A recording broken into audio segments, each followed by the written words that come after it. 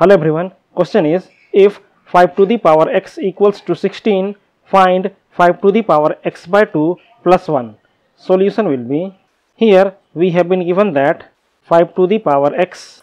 equals to 16, this equals to 5 to the power x equals to 16 can be written as 4 square. Now taking power 1 by 2 on both side we can write this equation as 5 to the power x whole to the power 1 by 2 equals to 4 square whole to the power 1 by 2. Now using exponential rule a to the power m whole to the power n equals to a to the power mn we can write this as 5 to the power x by 2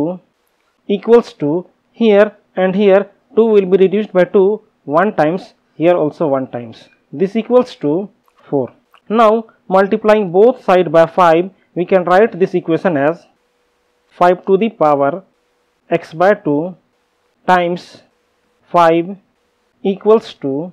4 times 5 we can write this 5 as 5 to the power 1 now using exponential rule a to the power m times a to the power n equals to a to the power m plus n. We can write this as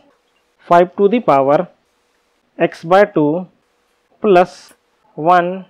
equals to 4 times 5 is 20 therefore 5 to the power x by 2 plus 1 equals to 20 this is your solution